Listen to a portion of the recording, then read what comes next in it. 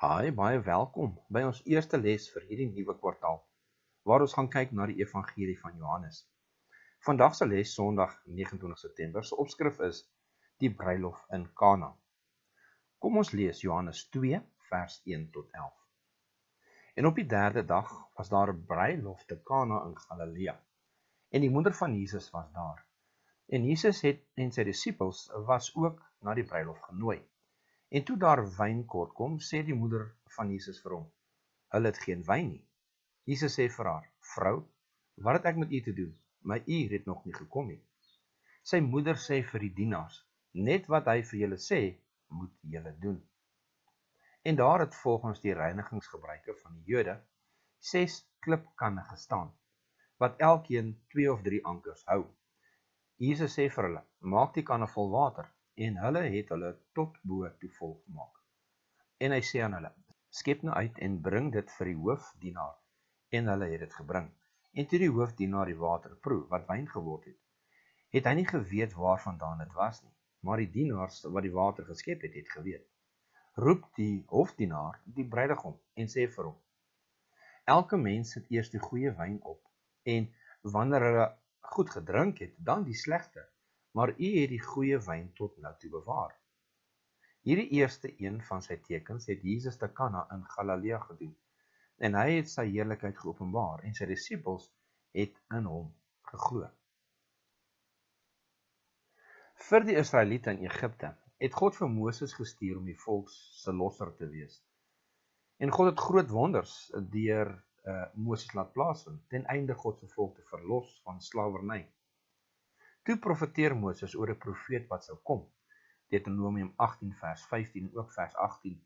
'n Profeet uit jou midde, uit jou broeders, soos ek is, sal die Here jou God vir jou verwek. Na hom moet jy luister. En dan vers 18 van Deuteronomium 18. 'n Profeet sal ek vir julle verwerk uit die midde van hulle broeders, soos jy is, en ek sal my woorde in sy mond lê en hy sal aan hulle sê alles wat ek hom beveel. Hierdie profeet wat sou kom, het verwys na die Messias, Jesus. En hier lees ons van Jesus se eerste wonderwerk. Hy verander water in wyn. Eerstens sien ons dat die eerste plaag wat Egipte getref het, was die Nylse water wat in bloed verander het. Hier sien ons waar Jesus water nie in bloed nie, maar in wyn verander. Soos Moses gekom het as verlosser van die volk, kom Jesus hier as die verlosser van die wêreld. Dit is nie die Nylse water wat hy verander nie, maar die wat in die waterkanne was, waterkanne wat gebruik was vir reiniging. Dan verander Jesus die water in wyn, nie bloed nie. Waar die wyn wel 'n simbool is van die bloed van Jesus wat vir die mensdom gestort sal word. Die bloed van Jesus, die enigste reiniging van sonde. Die simboliek hier neem aanklank by die verlossing van die Israeliete uit slawerny uit Egipte. Hier het ons Jesus, die verlosser van die wêreld, wat ons verlos uit geestelike Egipte, slawerny van sonde. Nou baie gebruik hierdie verhaal as verskoning om alkohol te drink. Dit is belangrik om te let op die tipe wyn hier waarna verwys word. Dit is nuwe wyn of goeie wyn wat verwys na die vrug van die wynstok voor dit oud geword het en gegis het. Die Griekse woord vir wyn, oinos, verwys na gegiste en ongegiste druiwesap. Goeie wyn of nuwe wyn verwys altyd na die ongegiste vorm van die vrug van die wynstok. Diegene wat hierdie wonderwerk gesien het, was baie verbaas en het begin glo dat Jesus 'n godsman was.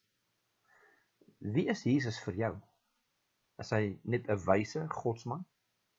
Of is hy vir jou verlosser en Heer? Heer Jesus, verander asseblief alle gisting in my na suiwer sap wat u karakter en liefde weerspieël. Ek vra dit Vader asseblief in Jesus se naam. Amen. Baie dankie dat jy saam geluister het na hierdie potgooi. Druk asseblief die like knoppie en deel hierdie asseblief met u vriende en familie. Tot volgende keer. God ryk seën.